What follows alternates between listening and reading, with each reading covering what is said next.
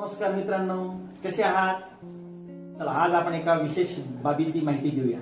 मी आज तुम्हाला एक विशेष गोष्ट सांगणार आहे. ती आहे महाराणा प्रतापांच्या संबंधात. महाराणा प्रताप आपल्या सर्वांचे आदर्श भारतीय शौर्य पराक्रम त्याग आणि बलिदान यांचे मूर्तिमंत उदाहरण म्हणजे महाराणा प्रताप सिंह. मित्रांनो मधल्या काळामध्ये चित्तोडगडच्या रक्तरंजित लढाईमुळे मेवाडचा सुपीक प्रदेश मोगलांच्या ताब्यात गेला होता. मोगलांच्या हाती लागला. हा प्रदेश अत्यंत सुपीक असल्याने मोगलांना त्याचा फायदा झाला. तथापि अरवली पर्वताच्या परिसरातील उरलेले जंगली आणि डोंगराळ भाग अजूनही महाराणा प्रताप सिंह यांच्या ताब्यात होता. यामुळे बादशहाच्या मनामध्ये एक सल होती एक खंत होती. मुघल बादशाह मित्रांनो अकबराचा महाराणा प्रताप सिंह यांच्या ताब्यातील असलेला डोंगराळ भाग या भागावर अकबराचा डोळा होता. आणि अकबराला हा डोंगराळ भाग ताब्यात घेणं फार गरजेचं होतं. त्याचं कारण असं मित्रांनो की दिल्लीहून गुजरातला जाण्यासाठी राजस्थान मार्गे मेवाड मार्गे जाण्यासाठी हा भाग त्याला हवा होता. सुरक्षित हक्काचा आणि निर्धोक असा मार्ग त्याला हवा होता आणि तो मेवाड मार्गे जात होता. म्हणून त्याला तो ताब्यात हवा होता.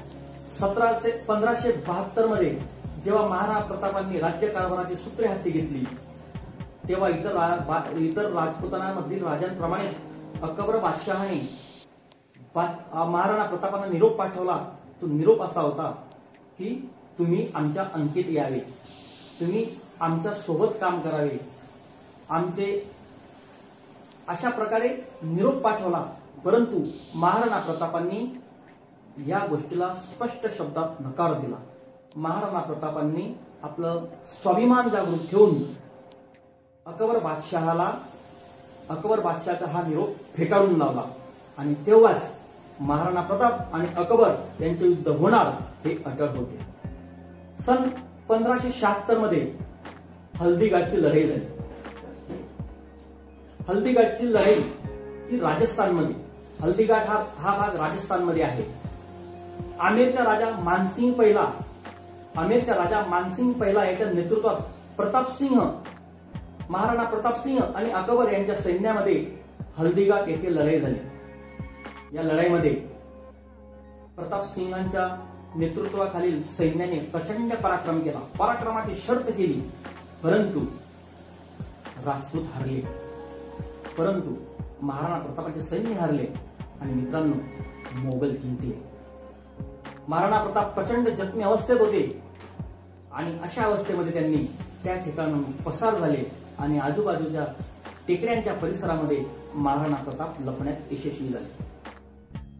मोगलांना महाराणा प्रताप महाराणा प्रतापांना पकडण्यात मात्र अपयश आलं. या लढाईचे ठिकाण राजस्थानमधील हल्दीघाट जवळील एक अरुंद डोंगराळ खिंड होती.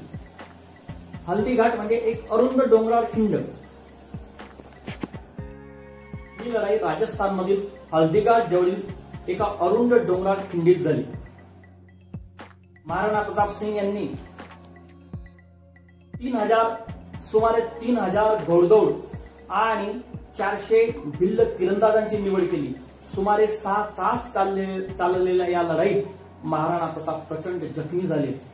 परंतु ते आसपासच्या टेकड्यांमध्ये लपून जाण्यामध्ये यशस्वी ठरले आणि त्यांनी आपला जीव वाचवला. पुनश्च मोगलांचे सैन्य वायव्येकडे मोगलांचे सैन्य वायव्येकडे सरकताच महाराणा प्रताप आणि त्यांचे लपून असलेल्या सैनिकांनी पुन्हा आपला पश्चिमेकडील भाग ताब्यात घेतला.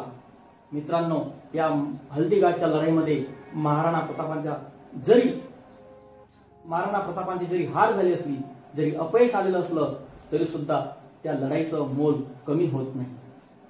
या लढाईने भारतीय मनामनामध्ये स्वाभिमान जागृत केला. स्वातंत्र्याची ज्योत पेटवली. पराक्रमाची जिद्द प्रत्येक भारतीयाच्या मनामध्ये पेटवून ठेवण्यामध्ये ही लढाई फार मोलाची कामगिरी अं, बजावत असते. महाराणा प्रताप म्हणजे शौर्य बलिदान त्याग यांचे मूर्तिमंत उदाहरण होय. आपल्या संपूर्ण हयातीमध्ये आपल्या संपूर्ण कारकिर्दीमध्ये महाराणा प्रतापांनी मोगलांशी प्रचंड संघर्ष केला. आपलं स्वातंत्र्यासाठी अहोरात्र संघर्ष केला. या भारतभूमीसाठी त्यांनी मोगलांची प्रचंड संघर्ष करून स्वाभिमानाची ज्योत प्रज्वलित ठेवण्याचं महत्त्वाचे कार्य महाराणा प्रतापांनी केलं.